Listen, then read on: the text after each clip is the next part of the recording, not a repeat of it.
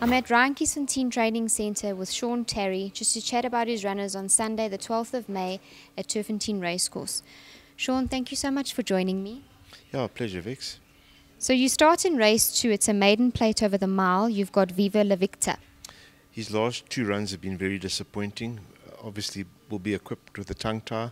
I'm hoping for marked improvement, um, but I would imagine this would bring him on, even if he does improve.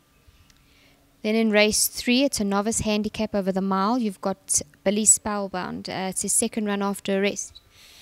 Yeah, this horse has got some very good earlier form. Uh, he gave us um, a really good run in Cape Town to a quality field, and things went wrong for him after that in terms of soundness.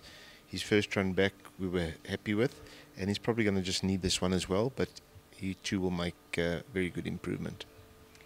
Then in race five, it's a fillies and mares 86 divided handicap over the 1800 meters. You've got two runners. You've got Magical Flight and Escape Artist.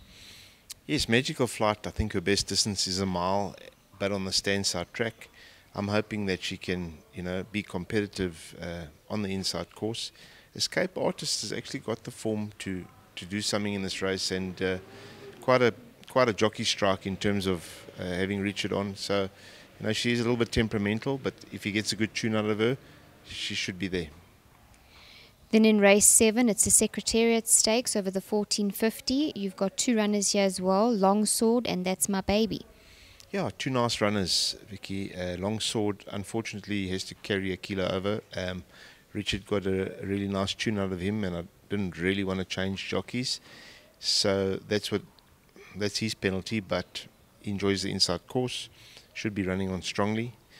Uh, that's my baby. She's a decent filly. Uh, she may just need the run, but I'm hoping that I've done enough um, for her to be competitive.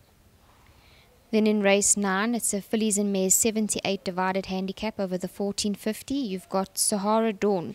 Um, I think the inside track is, is what she's looking for. Yes, definitely suited to the inside track. We're stepping up in distance trying the 1450, and hopefully that's what she's looking for. I'm expecting her to go well, and maybe this will set her up for next time. Thank you so much for your time, and I wish you all the best for Sunday. Thank you.